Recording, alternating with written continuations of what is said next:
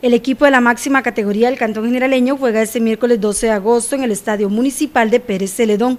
El compromiso será a partir de las 7 de la noche y reciben a su similar del Club Sport Herediano. Para este compromiso el costo de la entrada es de mil colones y los socios ingresan gratis. Las jugadoras esperan lograr los tres puntos y hacer valer su casa.